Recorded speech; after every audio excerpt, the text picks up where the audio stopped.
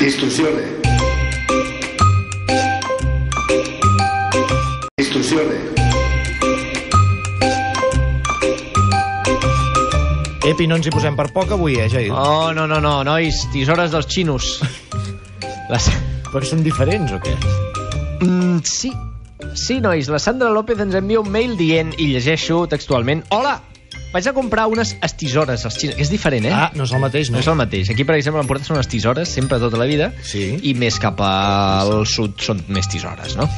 Doncs van a comprar unes tisores al xino de sota de casa, però el que hi havia escrit no tenia res a veure amb el producte. Crec crec, Crec. posa entre cometes, que es tracta de l'envoltori d'un arrissador de pestanyes, però tampoc no estic gaire segura. Ah, que guai. A veure, nois, anem en matèria. Es tracta, efectivament, d'un producot Sí? de l'empresa Politop.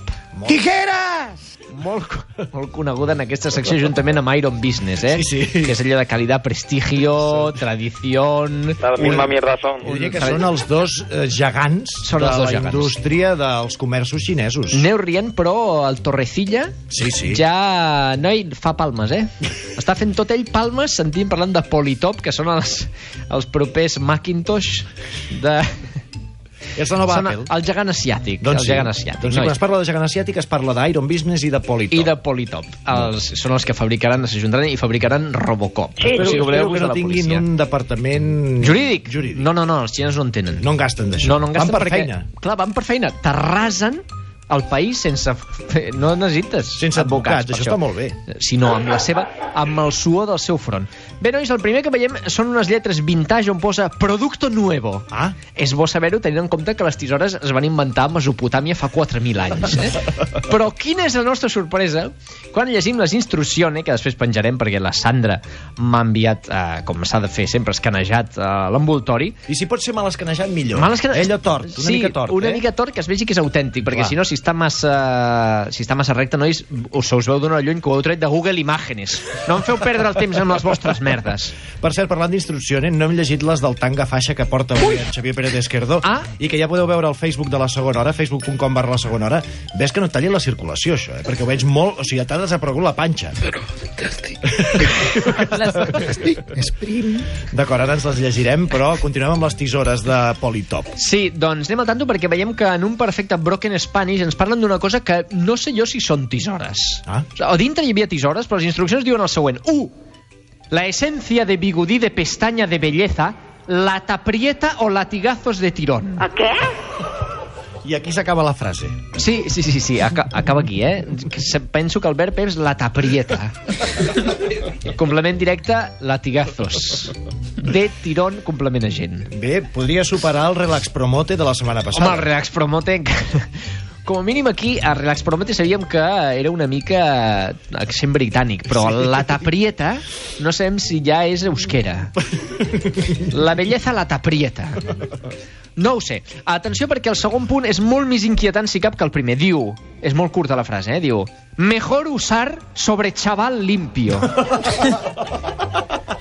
Recordem que parlem d'unes tisores, eh? Sí, sí. I el xaval no sé d'on ha sortit.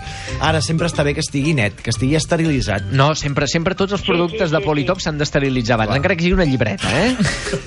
El punt número 3 diu els antes de aplicación de rímel para prevenir fractura a latigazos. Ah, clar. Home, una fractura a latigazos, de veritat que t'han de fotre fort, eh? Per trencar-te algú amb un làtigo. Ah, és Que no sé que sigui el, el personatge aquell de Marc ATV, eh? El Ah, làtigo. Llavors tio és una altra cosa. Això és per fer mal, eh? Hi ha una persona, no? Pot fer-ne. Sí. El número, punt número 4 diu Diseño apacible para máximo conciso. Ah, que bé. Segurament és una persona amb máximo conciso, eh? És un... Sí, un, un d'aquests de Gladiator, no? Els terratinents a dins de les cases. de Máximo Conciso. Máximo conciso, pretor.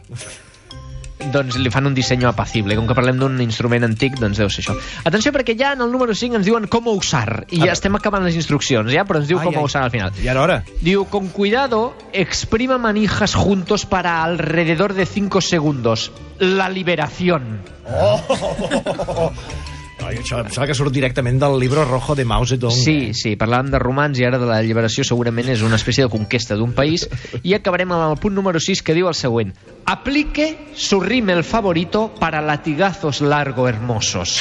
Ya lo haré, ya lo haré. Pensem ya lo haré. que hi ha un, Ya lo haré. un rotllo sadomaso molt inquietant, almenys ens queda la tranquil·litat de saber que el tio que ens fot els llatigassos va ben maquillat, eh? És una espècie de, de travesti verdugo. Que s'agraeix, eh, que si t'han de dominar, que sigui amb elegància. sempre. Sobretot, això sempre, això sempre, de veritat.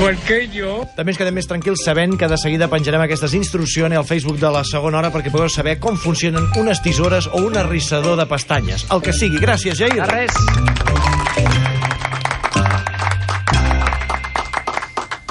Instrucciones. Moltes gràcies per veure el vídeo. Si t'ha agradat, clica m'agrada. Ja tardes a subscriure't surt. I deixa un comentari.